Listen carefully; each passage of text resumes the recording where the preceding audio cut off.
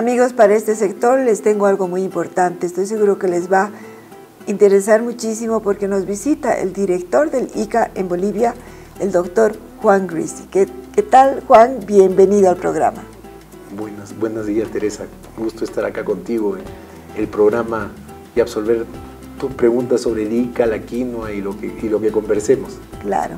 Bueno, les cuento, amigos, que yo lo invité acá a Juan, que es una bellísima persona, por su gran conocimiento de la quinoa. Y bueno, dentro del trabajo que desarrolla, eh, queremos que nos comente. ¿Qué tal? ¿Puedes empezar cuál es el desarrollo que están haciendo en este momento el ICA en Bolivia? Sí, mira, el ICA, Instituto Interamericano de Cooperación para la Agricultura, es un organismo de la OEA. Su función es dar eh, cooperación técnica a los países miembros de la OEA en el tema de agricultura. ¿No? Y como tal, ICA tiene oficinas en los 34 países miembros de la OEA. ¿no? A mí me toca encabezar la oficina de Bolivia como representante del ICA en Bolivia. Nosotros acá en Bolivia tenemos eh, cuatro programas que están en plena ejecución. Una que es innovación y tecnología, que es innovación y tecnología. El otro que es sanidad agropecuaria y inocuidad de los alimentos. También tenemos el programa de agronegocios y comercialización y el programa de desarrollo rural. Aparte de eso, tenemos dos programas que son financiados por la cooperación finlandesa para la región andina uno de manejo forestal sostenible y, uno, y otro de alianza en energía y ambiente. Eso es lo que hacemos acá en Bolivia. Qué interesante. Y qué harto, ¿verdad? sí. Interesante eh, y apasionante y además un reto. Y valioso además, ¿no? Muy sí, valioso. Claro que sí, claro sí. que sí. Y bueno, yo quisiera que nos cuentes el, con respecto a esto que está tan en boga, que nos interesa mucho, el tema de la quinoa. A mí me preocupa mucho ese, ese boom que hay por la quinoa porque todo el mundo quiere producir, todo el mundo quiere eh, exportar y bueno, pues a mí me gustaría que nos informes acerca de cuánto espacio realmente cultivable con, en Bolivia y cuánto se está cultivando y cuál es el proceso. Perfecto, cómo no.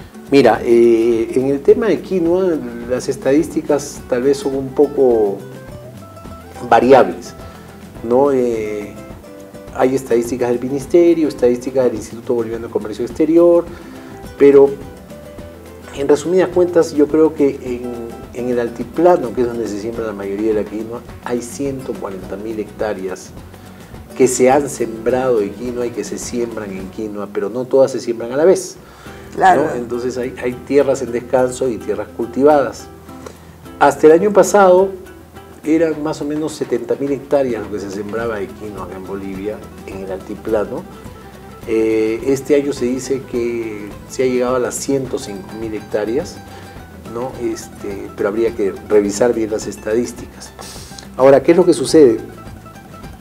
El altiplano tiene un sistema de producción, un ecosistema muy frágil, ¿no? Eh, el agricultor del altiplano siempre ha tenido que estar sujeto a muchas vicisitudes, a, muchos, a muchos limitantes en su producción. Más que nada por la falta de, lluvias, muchas veces por la falta de agua. Y, y, también asociado a eso por el frío. Entonces, la productividad de la quinoa es baja, me atrevería a decir. Está llegando a 600 kilos de quinoa por hectárea, más o menos. 600 kilos por hectárea. Son 70.000 hectáreas, son 42.000 toneladas métricas de quinoa que se produjeron el año pasado. Si este año llegamos a las 100.000 hectáreas, ¿no? y hay, este, hay eh, un, rendimiento de 600 o 650, serán pues 65.000 toneladas que se produzcan de quinoa. Porque aparte del altiplano, la quinoa en otras regiones, en los valles, eh, en las tierras bajas mm, hay muy poca producción. En los valles, digamos, diríamos que el 99% de la quinoa se siembra en el altiplano, un 1% en valles y ya en, trópico casi nada. ¿no? Yo quiero hacerte una pregunta. Yo, bueno, investigando con estos temas de quinoa y que he podido estar en mucho contacto con productores y todo, indican que la quinoa puede crecer desde el nivel de mar hasta 4.000 metros. Es, ¿Es real esto? ¿Es, cierto? Es cierto, es real.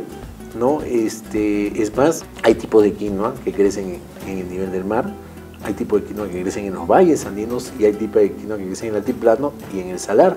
E inclusive hay un tipo de quinoa que hay que, hay que volver a buscar que se ha encontrado en los yungas, en Chulumani para ser más exacto. Dios mío, eso no, sabía. Entonces, este, eh, la quinoa es muy versátil, pero hay tipos y tipos. O sea, ¿qué te digo? Por ejemplo, la quinoa del salar o la quinoa que le llamamos real, que es la mejor quinoa del mundo. Exacto. La de, quinoa, de grano más grande es un conjunto de, de variedades, de razas locales que producen grano grande.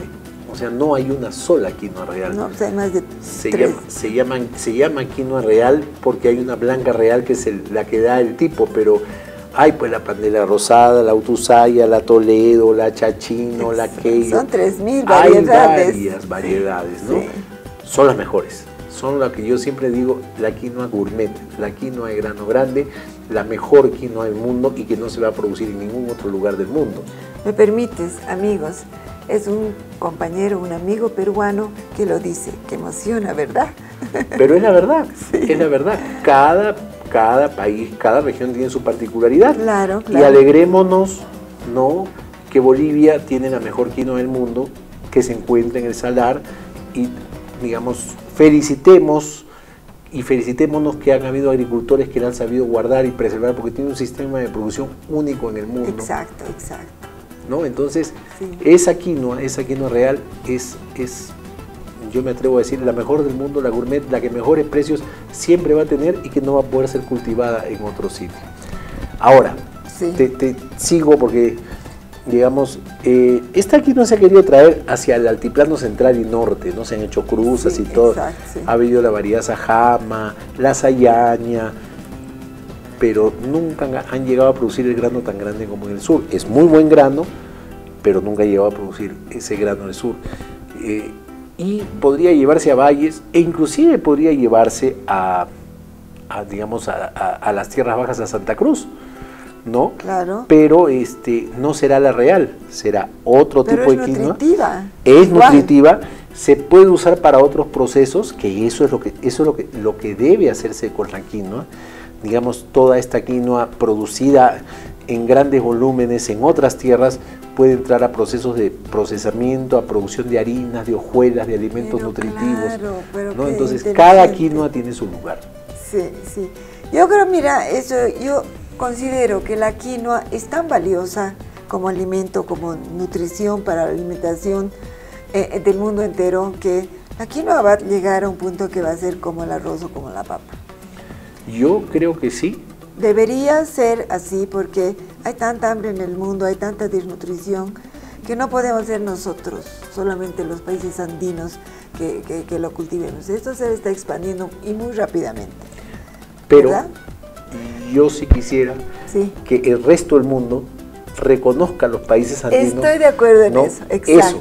Eso, eso precisamente. y en eso tenemos que trabajar nosotros. Hay que trabajar, hay que trabajar, porque, digamos, si la quinoa como alimento va a salvar al mundo del hambre, ¿no? Entonces, todos aquellos agricultores que guardaron y preservaron la quinoa por años de años para el mundo, deberían en el futuro, ellos y sus generaciones, mejorar su nivel y su calidad de vida. Eso es cierto. Y el mundo debería reconocer eso. Exacto, estoy totalmente de acuerdo contigo.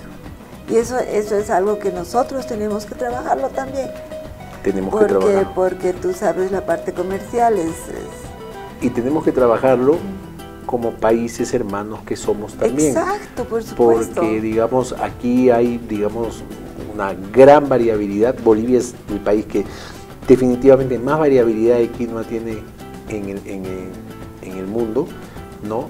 Y este tesoro que ha sido guardado por muchos años, bueno, tiene que regresar. No tiene que ser como en el pasado, ¿no? Que se llevaron el oro, la plata, el salitre, el guano, ¿no? Y no quedó nada. Y no quedó nada. E, esta vez tenemos como países que organizarnos, ordenarnos, porque esta vez si este tesoro tiene que regresar y tiene que significar un mejor nivel de vida, una mejor dignidad de vida de todos los pobladores andinos. Estoy de acuerdo me parece muy, muy valioso lo que tú dices. Ahora yo te quiero hacer una consulta. El hecho de que la quinoa crezca en, diferentes eh, altitudes ¿afecta en su, poder nutricional? No realmente, porque este, el grano de la quinoa tiene, tiene una sola propiedad. No, la, la quinoa tiene dos, características importantes. Primero, tiene más proteínas que los cereales, eso es un hecho. Y segundo, la proteína de la quinoa es de una calidad única. Se compara a la de la leche. Tiene un balance, un balance de, ¿cómo se llama? de aminoácidos esenciales que no lo tiene otro alimento. Y eso no se afecta en el nivel que se cultive la quinoa. Entonces, eso quiere decir, amigos, que la quinoa que se cultive en cualquier nivel, en cualquier parte del mundo, va a ser igual de nutritiva para todos los humanos, ¿verdad? Por supuesto que sí, por eso, supuesto. eso es un dato muy importante porque, bueno, también nos preocupa que haya niños que se nutran bien en el mundo, ¿verdad? Por supuesto, por supuesto, y, sobre todo con el crecimiento, con, el desarrollo y con el crecimiento poblacional que va a tener, que va a tener el mundo, que en el año, en el año 2050 eh, va a tener 70% más de población en el mundo. Dios mío, Así que se nos viene una, Cuidemos nuestra quinoa. hay que cuidarla, hay que cuidarla. Así es. Bueno, Juan, mira, yo he disfrutado mucho de estos minutos contigo, me habría encantado poder hablar más, porque él es un doctor en quinoa, queridos amigos, y, realmente es un experto y nos ha aclarado muchas, muchas dudas y bueno, infinitas más que hubiese querido, pero te voy a volver a invitar para que podamos hablar de otros temas. ¿Cómo no? ¿Cómo no? Encantado, estoy a la orden para, para, para lo que podamos hablar, quinoa u otras cosas, la agricultura, como te insisto, es, es la, actividad que cubre la primera necesidad del hombre en el mundo, que es alimentarse. Así es. Bien amigos, hemos disfrutado de unos valiosos minutos con Juan. Rizzi es el director del ICA en Bolivia. Y bueno, no nos queda otra que irnos. O sea que Juan, un gusto. Muchas gracias. Hasta pronto. Y con ustedes amigos, los esperamos el día de mañana a la misma hora.